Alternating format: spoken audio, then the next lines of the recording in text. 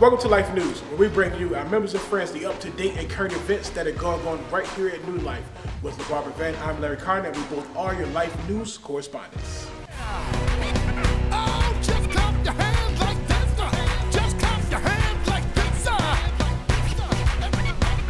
Yeah, let's wake up the church with this old school jam. Shout to the Lord in here. You know that He's good and His mercy endure forever. And the people of God said, they said,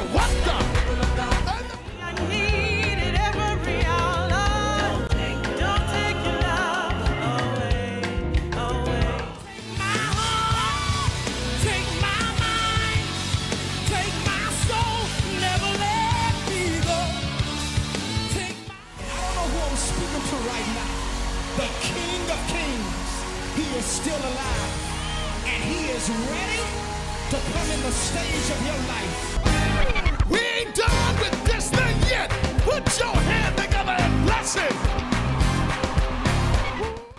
All right, New Life, our annual Family and Friends Day is coming up on Sunday, November the 22nd, and we are looking forward to this wonderful time worshiping with those we love the most. So invite all of your family and friends to come out with you at both the 8 and 11 a.m. services on that day. Yeah, guys. Also, later on that evening, from three to five thirty, we'll be at the Coffee Center in Chesapeake. Come on out. It'll be at least twelve tables of food. It's Yes. a great time. If you've never been to one, man, oh man, it's gonna be a treat. Also, we're giving away a TV.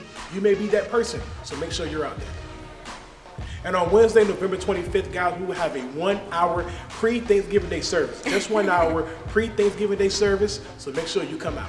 And we are going to close out this action packed month with Youth Ablaze Sunday on November 29th.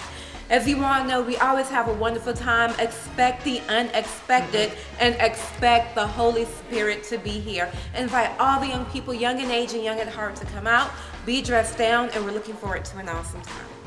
And make sure you dial in every single morning to our prayer campaign from 6:30 to 6:45. There is absolutely no better way than to start your day off than with prayer. So make sure you dial in. And you can also catch us face to face radio broadcast three days, Monday through Friday. You can refer below to the stations and the times. Some of us are at the fifth dip. We see no change, but keep trusting the process. Somebody may be on the sixth dip.